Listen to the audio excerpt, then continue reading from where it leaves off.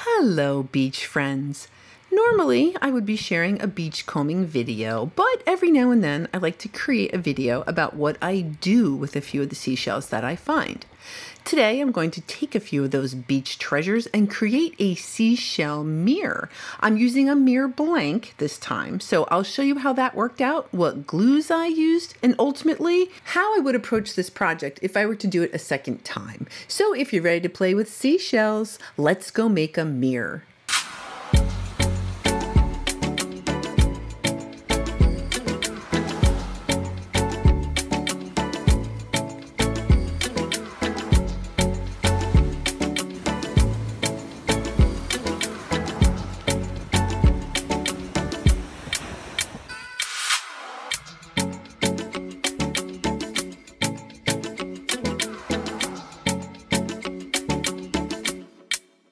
Okay, this is a seashell mirror blank. One of my neighbors was showing me some materials she had to make things with seashells, and she showed me a seashell mirror blank.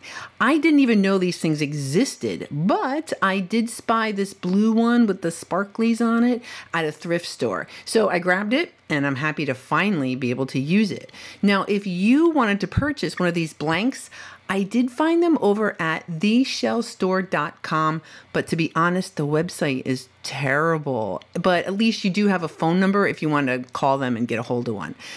Anyway, I knew I wanted the frame to be level. So first I scraped off those sparklies and then I painted that blue color a more natural tan color to go behind the seashells. Now once that was dry, I was ready to start the project. So let's jump over to Craft Charmin and see how this project goes. Right, the frame is prepared and at this point I'm going to go through and I'm just going to start um, picking out different seashells. I've got different things um, I love not using broken, or I like using broken shells on these kind of crafts. So, or this, look at this little rose murex, broken. So that's like a perfect shell for a project like this. So the first thing I'm gonna do is kind of go through all my shells and figure out what I think is gonna work. I want like medium sized shells for this piece. I want it to be kind of proportionate. So I would like to get all different shells um, that are somewhat proportionate on there first, and then I'll probably go back and layer with the smaller shells. So I'm just gonna start sorting and placing some things before I do any of the gluing.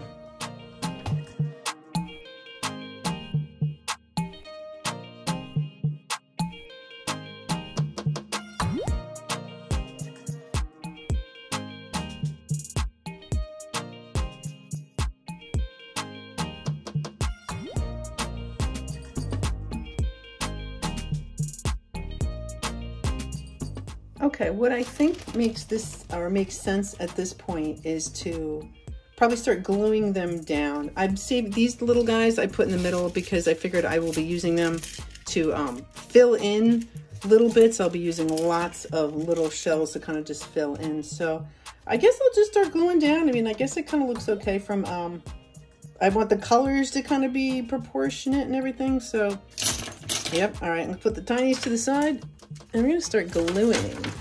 Now with the glue, I did buy a new glue. Someone recommended this Beacon Advanced 3-in-1. I've tried it in a couple things. It does say that um, it's instant grab. Mm, I'm not really finding it.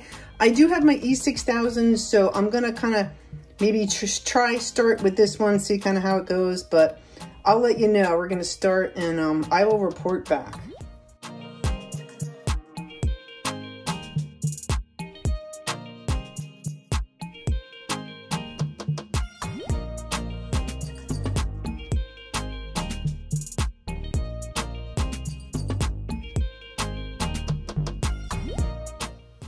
So most, it, some of the stuff's a little wiggly, but most everything is pretty much put down at this point.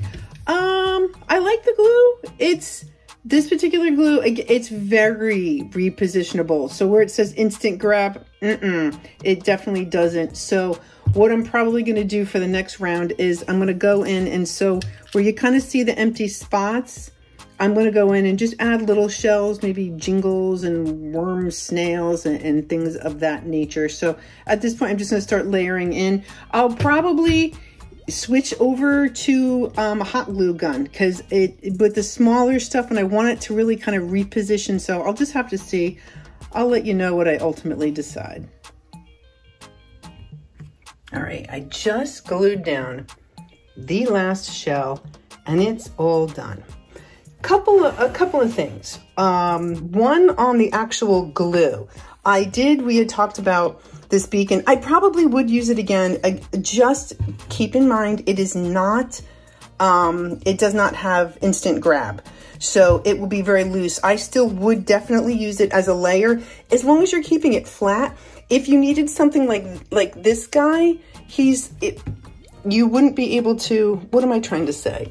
That if there's anything that's going to be balancing, this glue is not going to hold it. Something like that, you're going to, you're going to need the hot glue. So I use the blank, which I like, and I'll talk about that in a minute. Um, so for the glue, sure, go ahead and use the beacon. I didn't use the E6000. I feel like they're kind of interchangeable, but I definitely needed the hot glue. If you have any questions, just go ahead and leave a, drop me a question below. I'll try to answer it as best I can. The blanks. Now, I do like the blank.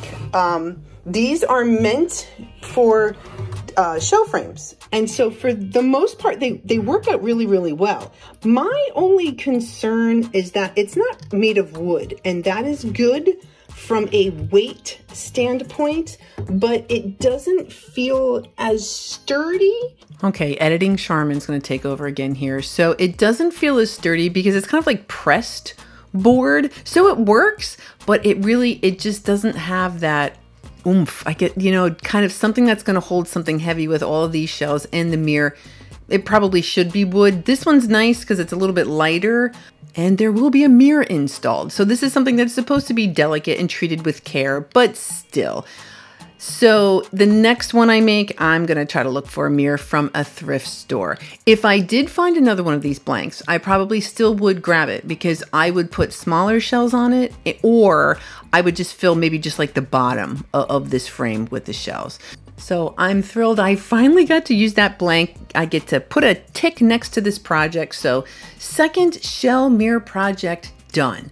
Next one is going to be a cigar box. I have this really cool cigar box I want to cover with seashells. So that'll be the next project. It'll probably take me six months, but not to worry because I definitely will see you on Sunday. So thank you so very much for watching. And this coming Sunday, I'll have a brand new beachcombing video. If you like this kind of stuff, why not go ahead and subscribe?